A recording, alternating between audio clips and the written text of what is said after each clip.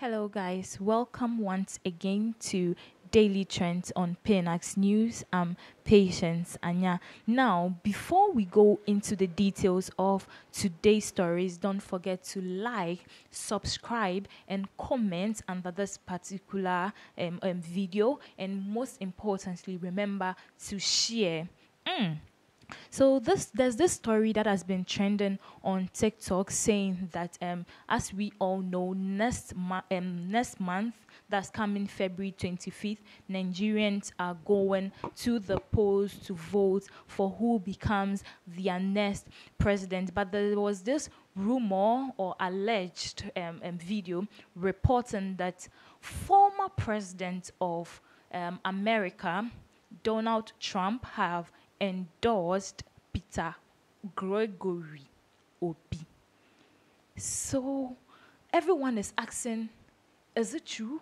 Or it's not true. So we all know, um, we all know Trump for his control versus on social media, but um, the the president, who was a former businessman and a TV personality, took over office from 2017 to 2021, after which Joe Biden is now the current president of the United States of America. So, if you don't know about Peter Obi, Peter Obi is the was the former um, governor for Anambra State in Nigeria. And so he ruled from 2014 to 2017. That was the time that Peter Obi ruled as governor for Anambra State in Nigeria. Now, he's been known for his accountability. So, is this accountability that he's been known for? That's why everyone thinks that Trump has endorsed him. And we know Trump to be the straightforward man, wants everything to be on point. So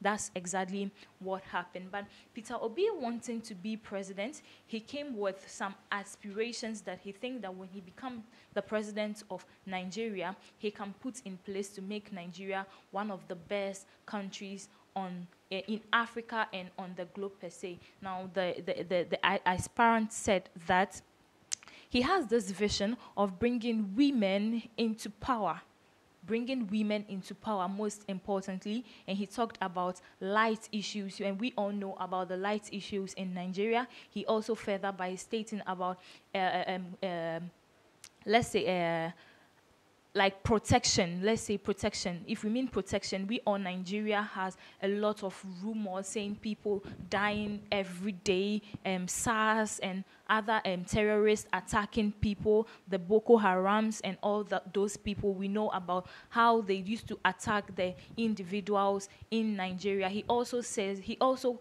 furthered by saying that he would rather spend on education and health rather than any other thing in Nigeria. He feels like investing in education and in the health sector will rather boost the, the, the, the, the country than than in investing those money into other things like fuel and, and, and many more. So he stated by he further stated by saying all the people, including the youth, are supposed to be the rulers of the country. He believes that when the youth are being kept into power or are placed into power, they can work extremely to put Nigeria on the globe. So those were um, some of the things that Peter Obi said that when he becomes the next president of Nigeria, he would like to put in place. So if Peter Obi becomes the president, as um, as the polls, we'll be going to the polls on the 25th,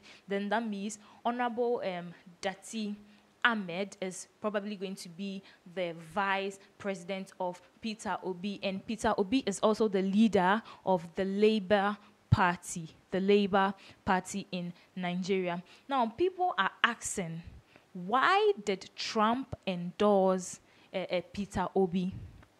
Because the video was seen on TikTok, it was trending viral. So everyone is saying, why will, um, uh, will um, Donald Trump endorse Peter Obi? They are asking, is, is, is Donald Trump having any relationship with Peter Obi, or did Peter Obi go and pay something small for Donald to just say that, okay, vote for Peter Obi so that he can be your next president. So everyone is just surprised about it. Now, he also says that he feels like he is capable of being the president because he has the capability he, he's qualified. He said he has the commitment, he has the stamina, he has the government experience, and he has the track record since he has been the governor for Anambra State from 2014 to 2017. So he believes that he can also do that. Now, he said, most importantly, Nigerians can trust him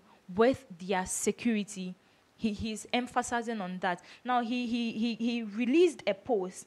He released a post on his Instagram page. So let's read that now. Now, Peter Obi said that I call on all Nigerians to unite our efforts in the journey of taking back our nation from the cold hands of corruption, insecurity, and unproductivity. 2023 is a very critical year that will determine the next direction of our nation. Now, this nation cannot continue in all the round retrogressive movement in the coming years, as that will result in its total collapse. Now, he further said that 2023 is an existential year in the history of our nation. It is a year we all must unite against the continued abuse of our nation's democracy and economy.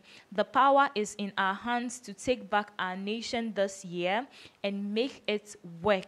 Now, my commitment is securing the country, unifying the nation, and moving it from consumption to production. I call on all Nigerians to hold me accountable to my promises for a better nation. When I am elected, I have made a pact with Nigerians and I will not leave any of my promises unfulfilled. Nigerians can hold me accountable by my words of promise. I wish Nigerians a very productive 2023 and urge everyone to remain law abiding while contributing to the growth and development of the nation. So that was Peter Obi's press release saying that he Nigerians should hold him accountable if he's not able to fulfill his promises as he has said in the statement.